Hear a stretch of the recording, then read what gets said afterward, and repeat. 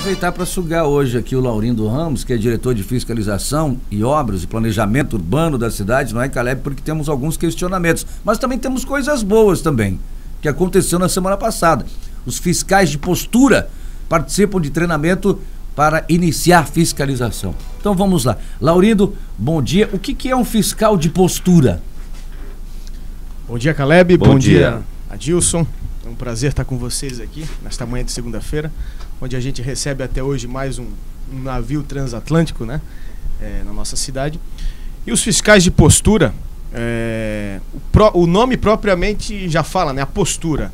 O que é certo é certo, o que é errado é errado. É, a fiscalização de postura, diferente daqueles agentes fazendários que atuavam a, nos anos passados, o fiscal de postura ele tem algo a mais que seria o poder de autuação. Né?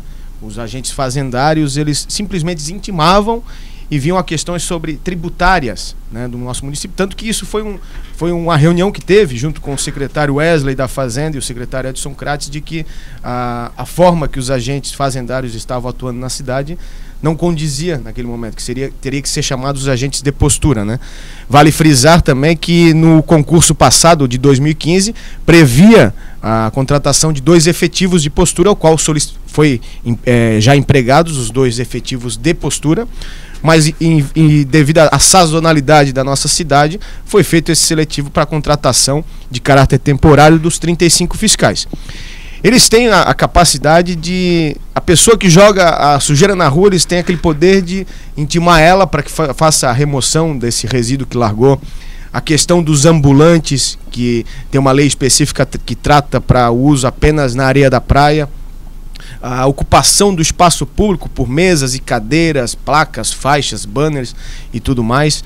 A fiscalização de postura, na verdade, ela veio para auxiliar a própria fiscalização até de obras, porque antes a fiscalização de obras também fazia parte da postura do município, né? Uhum. Então esse é o principal objetivo, é dar é, a segurança é, da cidade no, no que é certo e no que é errado, tratar da forma que prevê a legislação, seja através de uma advertência, uma notificação e aí lá na frente uma penalidade, um auto de infração, seja pessoa física ou pessoa jurídica. No caso é, de um comerciante, por exemplo, que está em desacordo né, com aquilo que é determinado pela legislação de Balneário Camboriú, ele é apresentado certo e errado, porque muitas pessoas não têm o conhecimento do que pode e do que não pode também, né, Laurindo?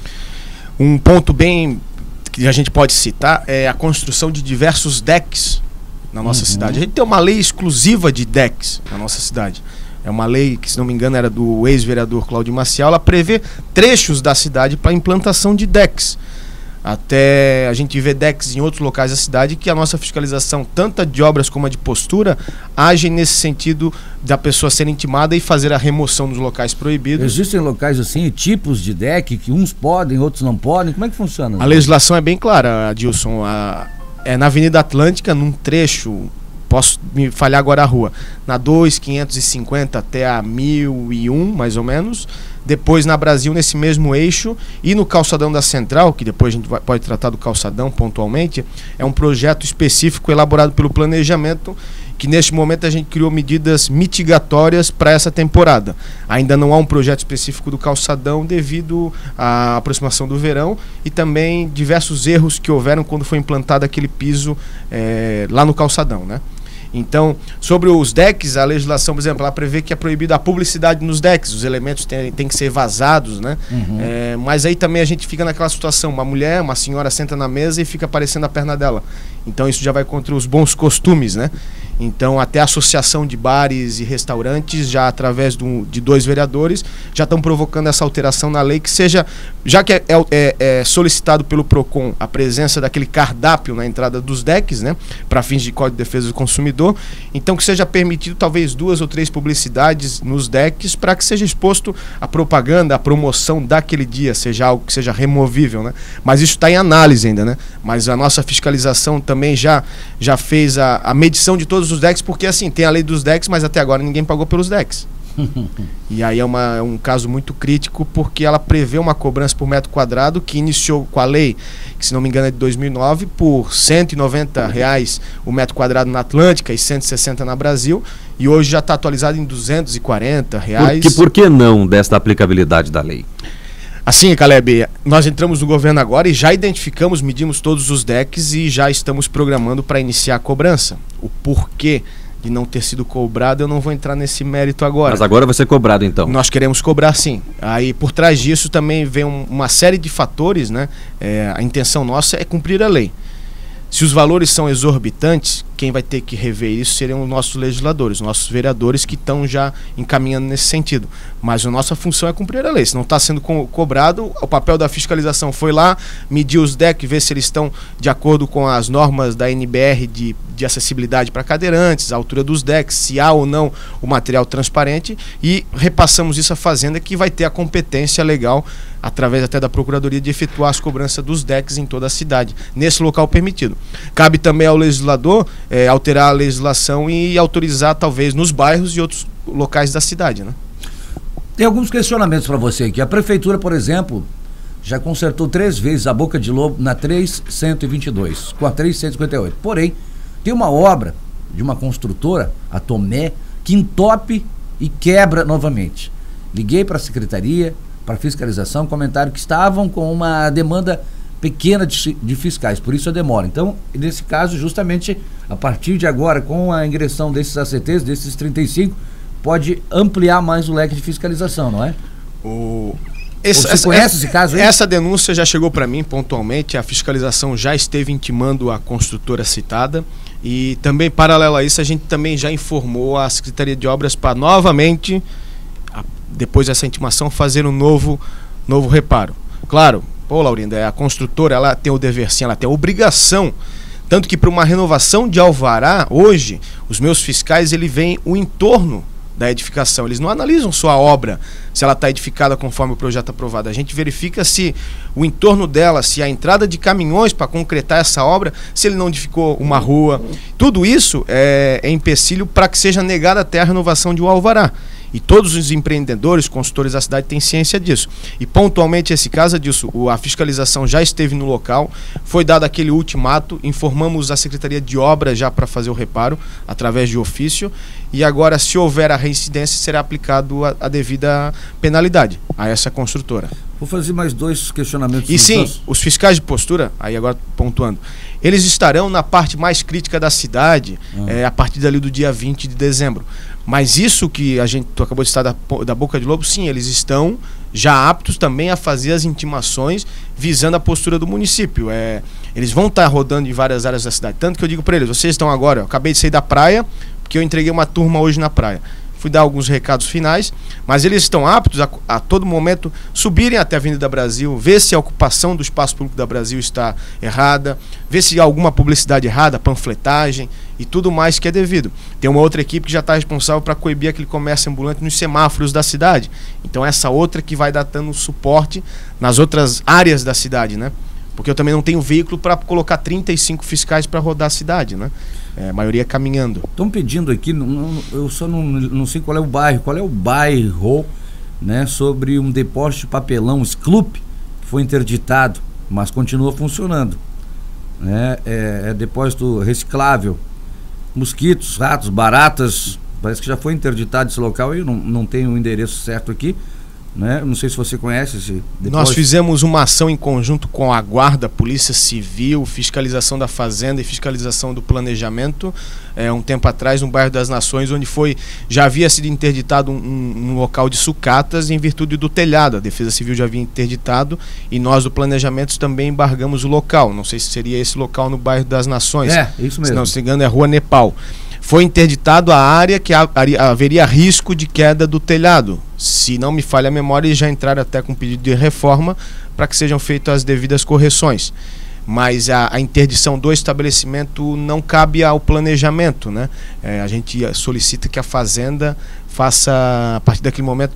E havendo esse risco, a Defesa Civil tem que dar um parecer também para nós para que a fazenda possa interditar as atividades no local, né? Laurindo, um dos questionamentos que nós estamos recebendo aqui continuadamente na Rádio Menina, o Adilson de Souza faz sempre sua manifestação contrária, né? Aquele cidadão que solta, que larga, que joga fora os seus móveis inutilizados é, em frente de casa, na frente da casa dos outros, e o município tem um custo anual aí de um milhão de reais, né?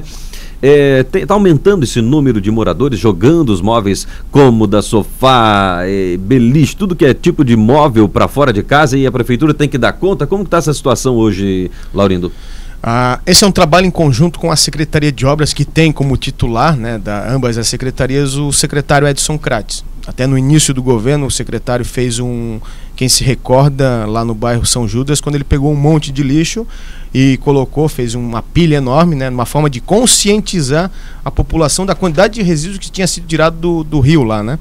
E constantemente a nossa fiscalização, vendo esse depósito irregular nas ruas, ela faz sim a intimação para que seja contratado uma caçamba de resíduos e que faça o recolhimento. E é bom ainda a gente frisar que há menos de um mês atrás a Secretaria de Obras foi recolher esses resíduos e debaixo dele tinha uma Jararacuçu. Olha só. Né? Exatamente. Tinha uma Jararacuçu né? em área urbana, no bairro das Nações. É. Local este que transitavam crianças a caminho do colégio e eu acho que isso aí parte muito do bom senso de quem fez jogou esse resíduo né? Uma Jararacuçu é em menos de 10 minutos tem uma criança morta. Né? Então vai muito das pessoas, as más pessoas, né, é, realizarem isso. Se não tiverem condições de contratar uma caçamba de resíduo, que aguarde então a operação da Secretaria de Obras que informa tais datas que estará passando por aquela localidade para que seja feito o recolhimento devido. É, a parte é, é, é, insolúvel. Não a parte mais crítica são é nos bairros, fazem. mas na cidade também a gente vê diversas é, dentro da área central, mesmo diversas áreas que o pessoal joga, seja é, resto de guarda-roupa, sofá e é muito a paisagem urbana fica deplorável, né? É, é mas eles o não, nosso não tem, papel tem que não tem é. senso, bom senso e não vai mudar. Não o nosso só, papel de fiscalização só, a gente intima. A gente intima. É só multando, mexendo no bolso. E aí entra em cena a parte política no multar, né, o Adilson? É uma decisão impopular, né? É, exatamente. Quem da Câmara de Vereadores de Balneário Camboriú teria essa coragem, né, em priorizar realmente o município né, e lançar um projeto de lei lá que não vai onerar o município, ao contrário, né, vai arrecadar para o município para tentar uma medida, né, uma medida direta ao cidadão que não cumpre com os seus deveres de cidadão, né, mas é impopular, então isso acaba inviabilizando até mesmo a fiscalização. Adilson de Souza, tem mais perguntas? Só para colocar aqui, o depósito não é na Nepal e sim na Peru, não é, é, é, não, é, é na, na Nações, mas é na Nações então que eu estava comentando. É Banco das Nações, né? É, outros aqui, depois você vai ter que passar com a Morgana ali e pegar outros recados. Né? Aqui hoje de manhã eu comentei aqui na Jacob Schmidt tem uma, uma obra em um prédio chamado Pontal Norte, o nome do Já prédio. os fiscais estão a caminho, já te dou o retorno ali, quando né, eu sair daqui da rádio. ali, né?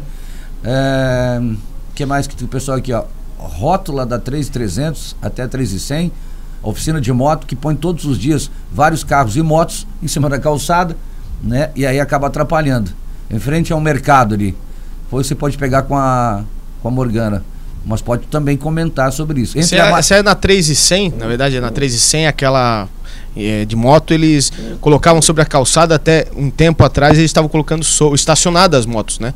Isso aí também trata muito. A minha, o meu papel é verificar aí a eu... mobilidade na calçada. Exato. Eu fiz o que eles saíssem da calçada e colocassem no, no, no, no estacionamento, aí cabe ao trânsito ir naquele local e ver a legislação de trânsito, se pode é, guinchar, se ela não tiver licenciada, que aí também caberia muito ao trânsito. É, se, se, colocar em, loga, em local que, que não é permitido estacionar, com certeza pode guinchar, pode levar.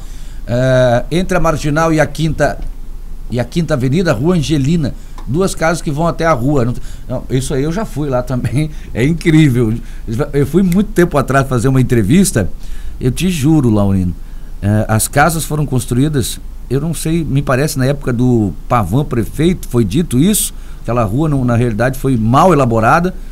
E olha, isso é assim, ó, é um palmo, é um palmo de calçada que tem.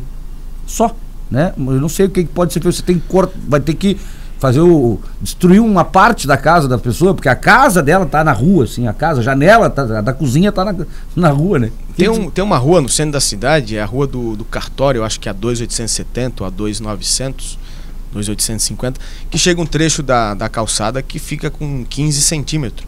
São já edificações já, é, vamos dizer assim, consolidadas, hum. né? que naquele local, a única forma que nós, como planejamento, e agora com o projeto Cidades Caminháveis, é, encabeçado pelo secretário que tem como gestor o, o Bajo, nosso arquiteto, é, que sejam feitas as, uma, uma, os locais piadotais, né, exclusivo para pessoas, né? Mas isso é um projeto é, é, é amplo, né? A gente está fazendo isso na área central, ali no, na, perto da igreja, onde em vez de arrancar árvores, a gente está fazendo um desvio que foi até um pouco polêmico no início, que o pessoal não entendia por que, que a calçada teria avançado na vaga de estacionamento, mas naquele local central da cidade a gente eliminou 5% de vaga para dar acessibilidade às pessoas, né, para que as pessoas possam transitar. E esses outros locais também a gente vai ter que ver pontualmente como é que é o fluxo de veículos, se a gente. Aí tem que ver se a edificação está, sim, é, aprovada ou se foi executada erroneamente, entrar com o seu devido processo demolitório. É, Adilson, hoje na cidade, quando eu entrei, a gente já está com mais de 10 ações demolitórias já, é, intimadas pessoas para que sejam regularizadas as edificações. A maioria dessas é, ações demolitórias foi até verificada junto com aquele grupo de proteção ambiental que é daquelas áreas de invasões, ocupações uhum. irregulares e, e, obras clandestinas, né? Então a gente já tem mais de 10 ações administrativas de demolitória, seja em espaço público ou privado, nós já estamos com isso avançado. Diversas demolições eh, em áreas públicas, que é, é mais forma, a forma mais rápida, de, a tratativa, já foram efetuadas pela administração, pelo nosso setor, pelo grupo todo e pontualmente isso, eu pediria para a pessoa é, provocar uma, uma, essa denúncia até formal, porque eu sou bem sincero, a minha demanda é muito grande. De ouvidoria eu recebo 150 e-mails por dia. E, e, aí peço novamente para as pessoas, use o bom senso de 150, se eu cumprir as 150 no dia, 40 tem é, nexo.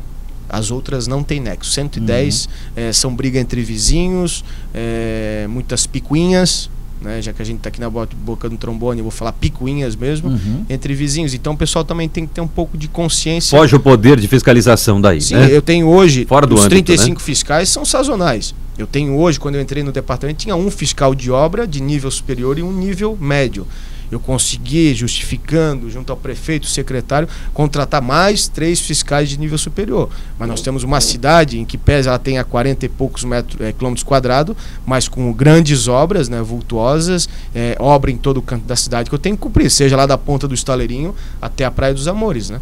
E são muitas ações pontuais que eu mesmo vou para a rua junto com os fiscais para a gente cumprir toda a demanda. Pois é.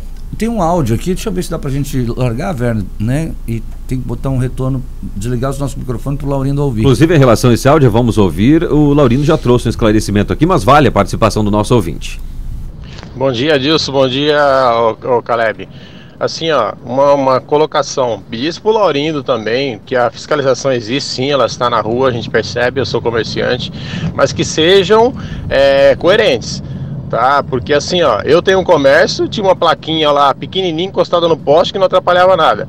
Mas os meus vizinhos é, na Quinta Avenida, a Quinta Avenida está tomada de decks, que atrapalha muito mais a, a circulação do, dos pedestres do que a minha pequena plaquinha. E eu fui notificado para tirar a placa, mas eles foram lá já várias vezes, mas não pedem para tirar os decks que estão irregular. Então é só ele verificar isso aí, ele vai ver que tem, tem que ter coerência. Tem que ter coerência sim. Tá? Então a gente sabe que tem a, a, o amigo do amigo, as questões políticas, mas vamos ser coerentes, vamos ser justos. Só isso que eu peço.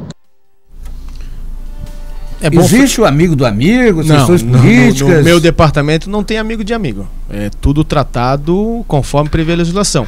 O que pode ter acontecido pontualmente sobre os decks é que é aberto um procedimento onde a gente intima a pessoa para regularizar o deck. Obviamente que ele não tem como comprovar a regularização. E aí se abre um procedimento até visando a demolição voluntária por parte Esse de prazo de tem... resposta de quanto tempo do comerciante em si? Não, a gente intima para 10 dias ele regularizar. Vamos supor se ele tivesse na área permitida, ele entrar com todos os documentos, seja a RT de segurança do deck, da edificação, autorização do, se for um edifício, tem que ter autorização de todos os condôminos ou assinado pelo síndico, né? Então ele tem que apresentar uma série de documentos. E obviamente no final a gente ainda mede o deck para que seja a fazenda faça a devida cobrança. Em locais que a gente saiba que não pode, mesmo não sabendo, a gente intima ele para regularização.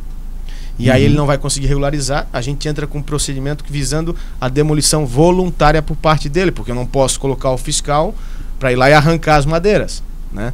E, e ele não vai conseguir de forma voluntária, a gente entra com a demolição e informa a Secretaria de Obras para que faça a demolição.